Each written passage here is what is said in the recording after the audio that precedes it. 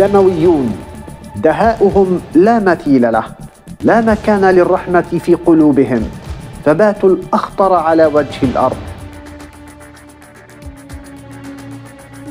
سماهم التاريخ بالفدائيين الأوائل.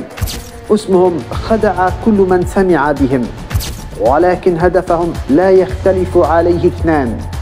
أو هكذا يقال.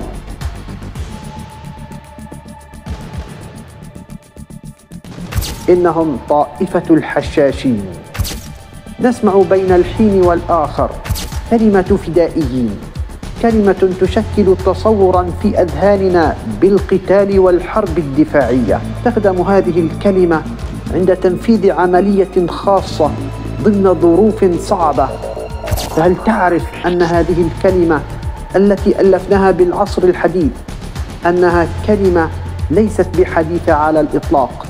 إنها تعود إلى القرن الحادي عشر الميلادي. نعم صدقوا.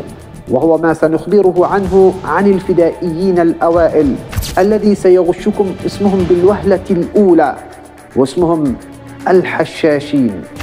كانت بدايتهم بمصر على يد رجل فارسي اسمه الحسن ابن الصباح وذكرت هذه الشخصية في كثير من الروايات. ولكنها شخصية حقيقية لا خيالية. وولد الحسن ابن الصباح في مدينة قم في إيران. واعتنق المذهب الإسماعيلي في مصر. وأخذ على عاتقه نشر هذه المذاهب. وأسس مجموعة الحشاشين الأكثر دموية. أو هكذا يقال.